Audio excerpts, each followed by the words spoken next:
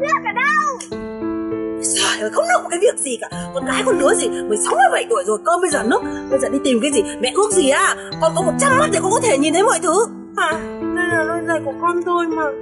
Việt Như ơi, con đâu rồi? Ủa, đây là quả gì vậy? À, mẹ hiểu rồi. Vậy là lời ước của mẹ đã thành hiện thực rồi. Việt Như ơi, mẹ xin lỗi con.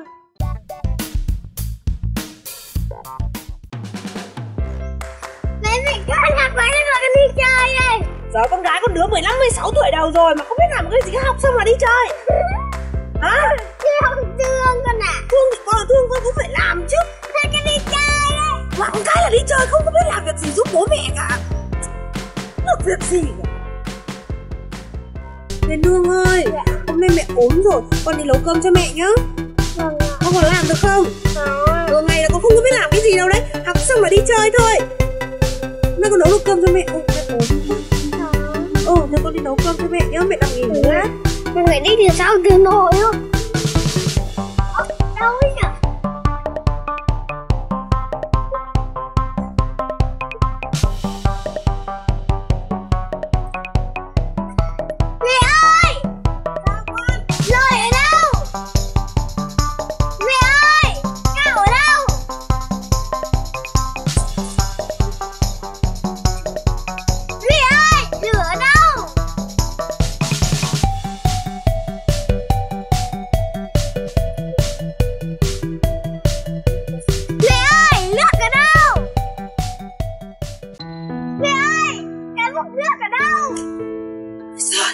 một cái việc gì cả. Con gái con đứa gì? 16 17 tuổi rồi. Cơm bây giờ nước Bây giờ đi tìm cái gì? Mẹ ước gì à? Con có 100 mắt để con có thể nhìn thấy mọi thứ. Mẹ ước gì à? Con có 100 mắt để con có thể nhìn thấy mọi thứ.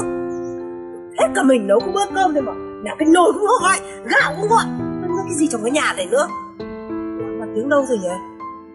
Chết rồi. Tiếng ở đâu? Huyền Lương ơi! Chết rồi.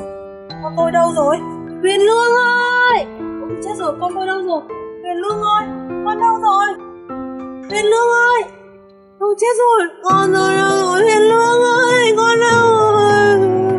Con tôi đã đi đâu rồi? Huyền ơi, con ở đâu? Trời ơi, đây là đôi giày của nó mà. Đây là đôi giày của con tôi mà. Huyền Như ơi, con đâu rồi? Ủa, đây là quả gì vậy? À, mẹ hiểu rồi.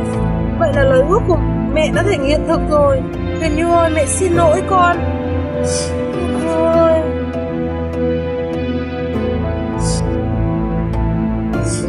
mẹ sai rồi mẹ xin lỗi con.